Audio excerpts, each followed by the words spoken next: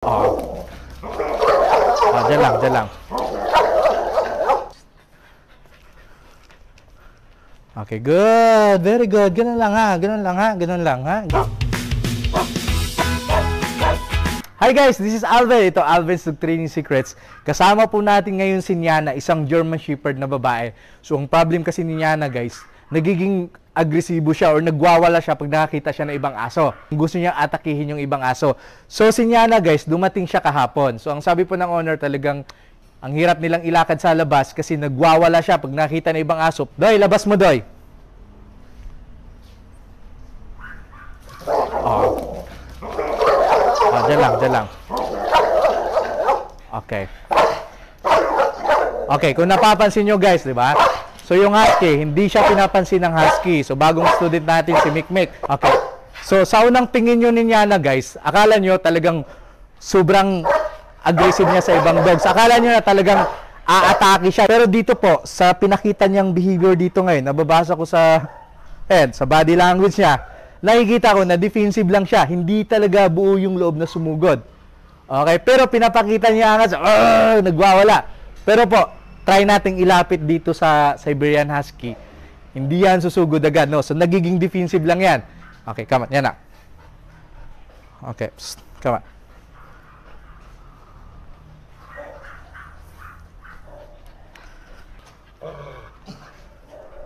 Okay, go, go, go. Okay, wala akong ginagawa guys, kundi nilapit ko lang si Niana. Pero kung napansin nyo po, nilapit ko siya, pero hindi siya umatak. Okay, hindi niya kinagat. Pero pag gumalaw po yung husky, pag pinalakad ko yun si Doy, gagawin niya, susugurin niya. Sige, ah, lakad ka Doy, lakad, lakad. Okay, balik ka Doy, balik. Sige, lakad ka Doy, lakad. Ayan ah. Okay, 'di ba? So napapansin niyo 'di ba pag lumakad siya, so ang ginagawa niya nagpapakitang gilis. Psst. Up, up, up, up. Kung napapansin niyo guys, 'di ba? Ang ginagawa niya, pag talon, iwas doon sa kanya.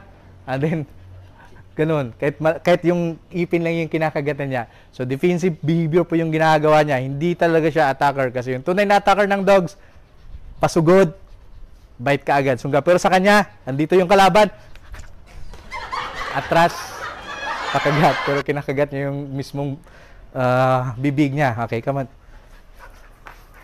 Come on, come on, come on.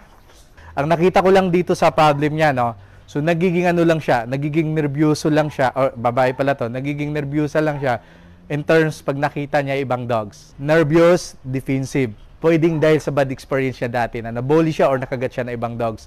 Isa rin po sa pinakamalaking kulang ay nagkulang po siya sa socialization, social exposure, social interaction with other dogs. Sa tao, okay siya. Sa dogs, and then sabi ng owner, pati sa cats, mayroon siya problema. So pag ganito kasing ah, problema ng dog, guys, kailangan mayroon tayong rehabilitation dog training. So, exposure doon sa ibang dogs. Pag mayroon siyang pinapakitang maling behavior, kokorek natin yon. Pwedeng gamitin natin yung touch or gamitin natin yung tali. Expose lang expose natin doon sa ibang dogs. Then proper walking, walk tayo sa labas. So kung gusto niyo pong i-expose doon sa ibang dogs, yung ibang aso, dapat hindi kayo lumalapit doon sa aggressive dogs din. Doon niyo siya ilapit sa dog na ganito, na hindi aggressive dogs para hindi po sila nagkakasaluwang, para mas madali niyo pong maayos. Kasi kung pareho silang may problema, nag-attack, mas lalala ngayon yung problem. So ilapit niyo po siya sa parehong dogs na hindi po galit sa ibang dogs para hindi kayo mahirapan. So ito po yung gagawin niyo, no? Relax yung isang aso, ilapit niyo siya. Okay? Pag wala siyang pinapakitang problem, himasin mo lang siya. Okay? Para magis ng dog. Okay, yung yung yung himas kasi natin praise sa dog, pangpalakas loob ng dog. Praise natin yung dog or ipaparamdam natin sa dog na yes, okay lang lumapit sa ibang aso. Pero po, pag mayroon po siyang pinapakitang problem, pwedeng gamitin natin yung leash or ito po yung dog training leash namin. Tropang Isle Dog Training Leash. Nabibili niyo po to sa shop namin sa Shopee. Pwede niyo po itong gamitin pang correct. Halimbawa, meron siyang pinakitang problem, ngumingiti or nagpapakita siya ng pangil dito or tulad nung kainan na sumusugod, pwede nating, "Psst, hey, i-jerk natin yung tali pag meron siyang problem. Okay? Pag wala siyang pinakita, pwede natin siyang himasin. Good? Very good. Good girl. Dapat yung isang dog, kung saan mo siya gustong i-expose, dapat ganito kay Mikmik, hindi rin galit or wala siyang problem sa ibang dogs. Kasi pag may problema, hindi mo mailapit ng ganito, hindi mo maayos yung dog. Kasi pareho silang may problema. Konting ganun lang, pwedeng magpang-abot ka agad, pwedeng magkagatan. Okay, good. Good girl. Good girl. Tatago ako dito para mabigla siya, no? Okay?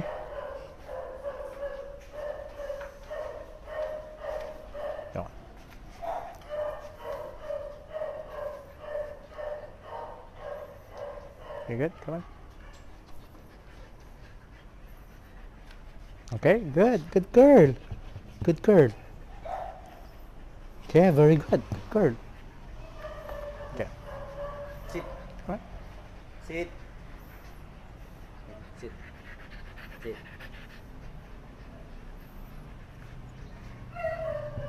Okay, good girl. Come on, come on, come on, come on, come on. Psst. Okay, good girl, good girl, good girl. So nakikita nyo guys, di ba, nagbago ngayon yung behavior niya, no? So hindi na tulad nung kanina na talagang pinapakita niya na parang galit siya dito. So ganun po yung pwede ninyong gawin dun sa mga dogs guys na tulad ni Yana.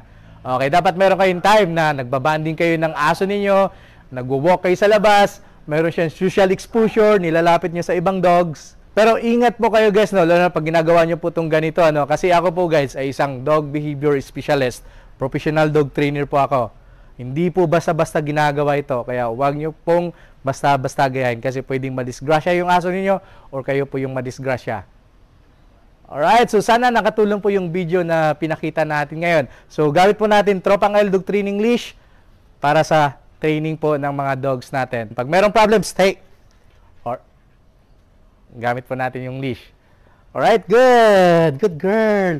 Okay, sabay tayo dahil. Titingnan natin dahil. Sabay tayo maglakad. Okay, come on. Okay, good girl. Come on, come on, come on. Okay, come on. You. Okay, good. Very good. Come on, come on, come on. Psst, you. Ito ka. Ay, sapa dahil. Okay, good. Very good. Ganun lang ha. Ganun lang ha. Ganun lang ha. Good girl. Good girl. Good girl. Good girl. Yes, good girl. Bigyan niyo po ng time.